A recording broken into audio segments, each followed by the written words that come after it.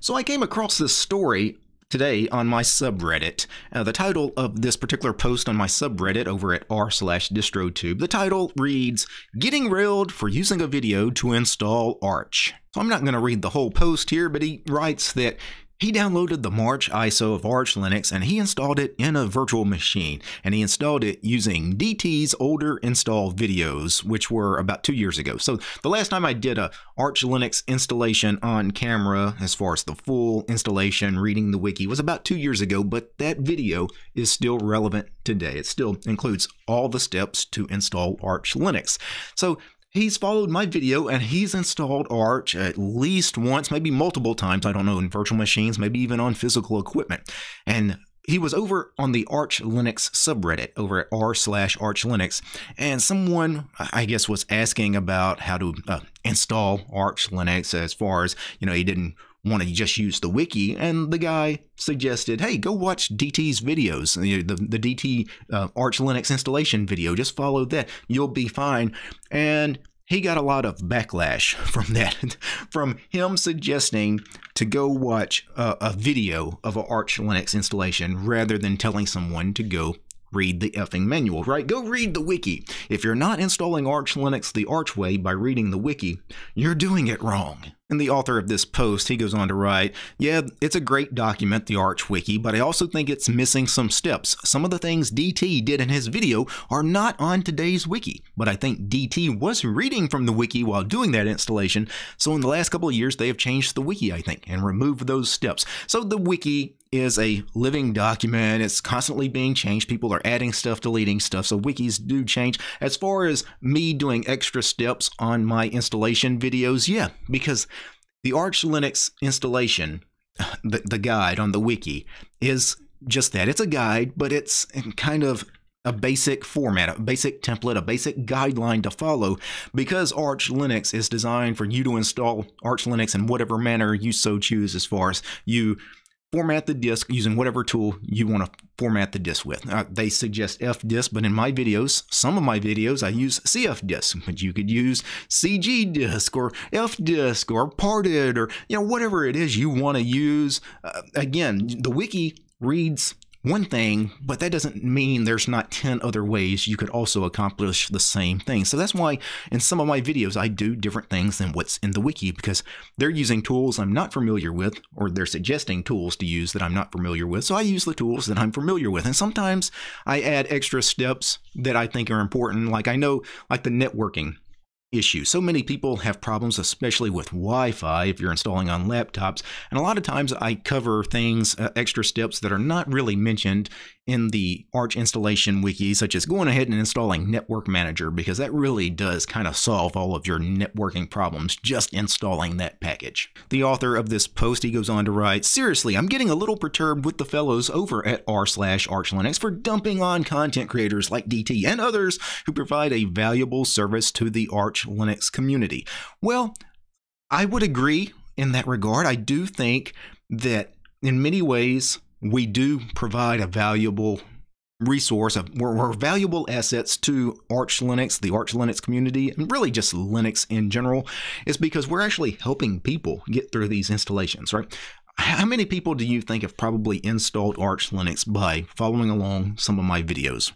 Hundreds, thousands, maybe tens of thousands, I don't know. A lot of people have installed Arch Linux following along with my video. Is that a good thing? Is that a bad thing? Honestly, it's, not necessarily a black and white uh, kind of issue. I can understand why the Arch Linux guys have problems with people following guides that are not official guides, as far as it's not from their website. It's not instructions that they control, right? The wiki is theirs, but you know the if you're following along a video from DT or you're following an Arch Linux installation from a blog post, you know, that person could be giving you some very bad information. It could be outdated information. Now, is it wrong to install Arch by using a video or a blog as your guide?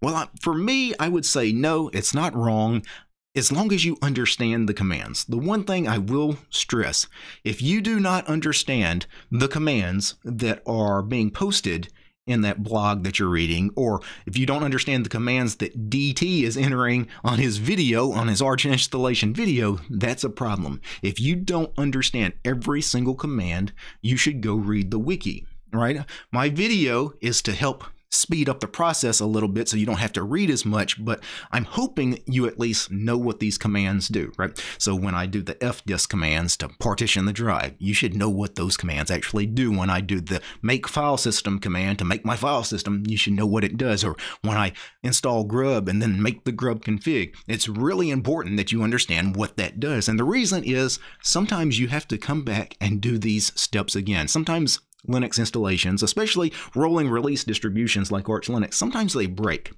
For example, Grub is a package that sometimes will break, and you will have to go back and reinstall Grub and remake the grub config just exactly the way you did in the original Arch Linux installation, assuming you did it the Arch way.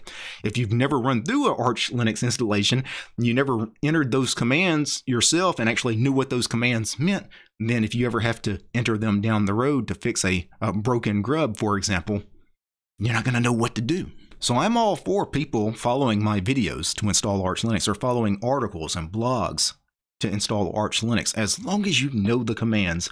Ultimately, though, you know, it's a good idea to always follow along with the Arch Wiki and to constantly go and search for things in the Arch Wiki. Anytime I, I have a problem I need to solve, eh, or some, some topic about Linux that I don't know much information about, I go search the Arch Wiki. It's the best wiki for Linuxy information, right?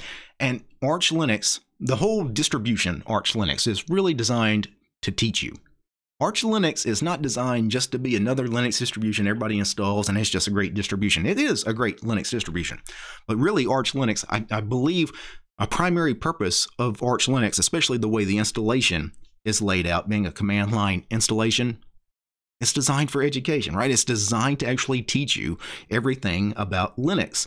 And you miss out on a big part of the whole reason to use Arch Linux if you just skip over that educational process. Now, of course, many Linux users don't actually want to learn about Linux. They just want to install an operating system and use it, and that's fine. If you want to install Arch Linux and you really don't want to learn anything about it, that's fine, but ask yourself this. Since Arch Linux is really meant to teach you about Linux, but you don't want to learn about Linux, why are you trying to use Arch Linux? Like you're kind of using the wrong tool for, for what you want to do. Why not install something like Manjaro or Arco or Garuda or Endeavour? All of these great Arch Linux based distributions that make Arch more user friendly, right? It's, it's much more a new user friendly Arch Linux based distributions rather than trying to use something that's much more deep, much more involved, and really is designed to make you have to learn and, and if, if you're not interested in it, again, you're probably installing Arch Linux for completely the wrong reasons. And it kind of sets you up for a lot of heartache, a lot of pain, because I, I see this all the time on distributions like Arch Linux, like Gentoo. These are distributions that are for much more advanced users you know, they're a little deep, right? They're a little involved. You really got to get your hands dirty and get under the hood and do a lot of things at the command line with things like Arch and Gentoo. And there are way too many people that are using those distributions because I see them post on help forums, things like that. There are way too many people using things like Arch and Gentoo that really have no idea about Linux in general, right? Because some of these people just followed a guide. They followed a, a video, a DT installing Arch or DT installing Gentoo. They just enter the same commands. And at the end of the day, yeah, they're running Arch, they're running Gentoo, but they really don't know how to maintain it. They really don't know how to use it after the installation because the installation really is not the hard part about distributions like Arch or Gentoo. It's actually using it from that point forward. It's maintaining it, right? Because things will break how you fix them.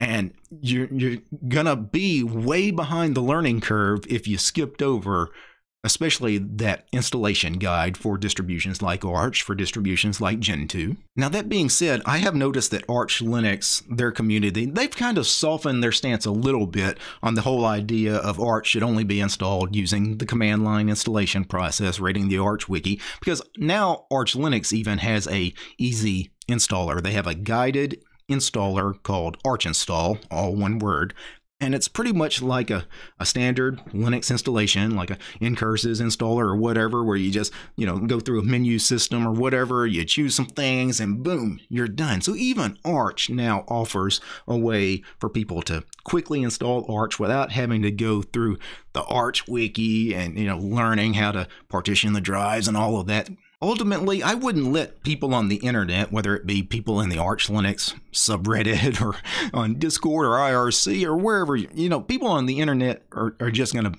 act nasty sometimes. And, you know, why do some of these people in like the Arch forums, Arch subreddit, why do they clown on people for installing Arch the, the wrong way. Well, a lot of these people are just internet trolls. You, you find internet trolls everywhere on the internet. Arch Linux is no different, right? There's going to be some people that just hang out on these forums and these subreddits that just want to, to degrade other people.